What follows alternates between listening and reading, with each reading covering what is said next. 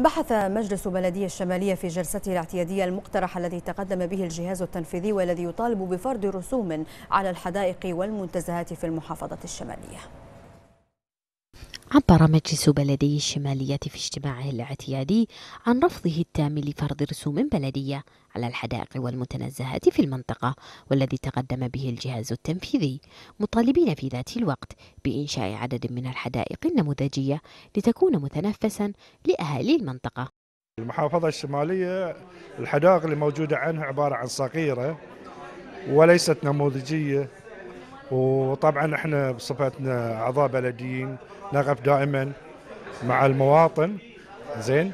فالرسوم بت بت بتي نوع على يعني ثقل على كهل المواطن.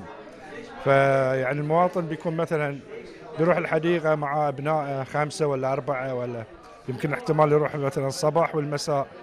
فبيكلف آه، المواطن آه، يعني آه، فلوس فاحنا رفضنا بهالسبب ذي كما بحث المجلس آخر المستجدات حول المشكلات التي تؤرق أهالي المنطقة والمتعلقة بقيام البعض بنثر بقايا الطعام في بعض الأحياء والتي تسبب بشكل لافت في انتشار الكلاب الضالة حيث تم خلال الجلسة البحث عن الطرق المثلى في توعية المواطنين كخطوة للتقليل من وجود الكلاب الضالة داخل الأحياء السكنية.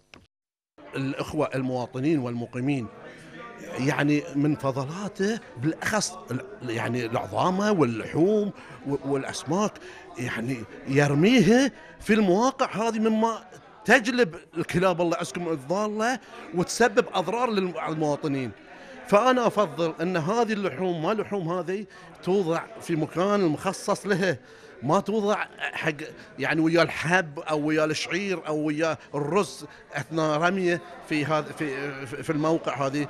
مما تتكاثر فيه الكلاب الضالة وتسبب ضرر حق المواطنين. ومثل ما شفته وشفت المواطن الولد اللي اللي عضه الكلب.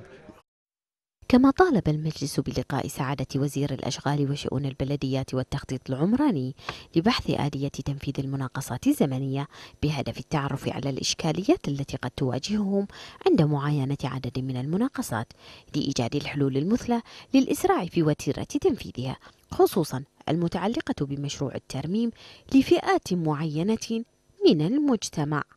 خول القرينيس لمركز الأخبار تلفزيون البحرين.